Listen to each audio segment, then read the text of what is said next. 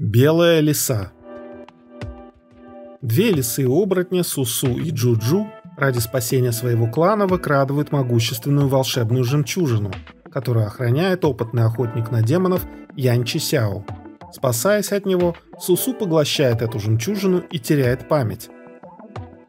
Девушка приходит в себя в небольшой горной деревушке и не помнит, кто она такая. Заботится о ней местный паренек Хэн Шен, который влюбляется в Сусу, не подозревая, кто она такая. Но поглощенная жемчужина не только дает Сусу небывалую мощь, но и подрывает ее тело и дух, и если она не избавится от нее, то скоро умрет. Если не знать, что путь китайского онлайн-кино к своему зрителю зачастую оказывается долгим и тернистым, можно решить, что режиссер Хуан И какой-то монстр-многостаночник, ведь летом 23 года в течение всего лишь одного месяца вышло сразу три его фильма. Причем все они никак не связаны между собой и создавались разными съемочными группами, так что ни о каком упрощении производства тут и речь не идет. Как будто этого мало, они еще и очень разные по жанрам. Так, 18 июля вышел фольклорный детектив «Кукла», спустя месяц, 17 августа, появился эксплуатейшн-триллер «Игра Агнца», а между ними затесалась романтическая фэнтези «Белая лиса», о котором и идет сейчас речь. В коммерческом отношении из этой троицы «Белая лиса» выступила хуже всех, причем очень значительно, заработав в 15 с лишним раз меньше той же игры Агнца.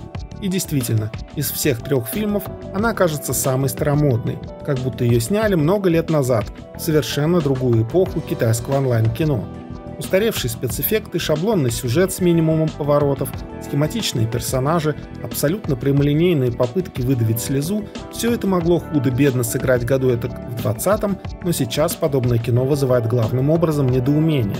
На что они рассчитывали? Справедливости ради, по всей видимости, авторы прекрасно понимали, что шансов у их проекта зацепить кого-то в 23 году не так уж много – Поэтому они честно попытались сделать так, чтобы просмотр для тех, кто на фильм все-таки клюнул, прошел максимально комфортно. Обеспечили фильму яркую картинку в нетипичной для интернет-кино размерности 1.85 к 1, в то время как в большинстве случаев онлайн-фильмы снимаются в 2.35 к 1. И тщательно сцедили из истории всю лишнюю воду, чтобы уложить просмотр в комфортные 68 минут.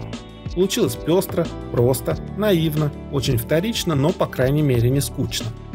Главную роль в «Белой лисе» сыграла китайская актриса Китан Цзян, и для людей, которые следят за китайским шоу-бизнесом, это знак, что на фильм, очевидно, не возлагали больших надежд.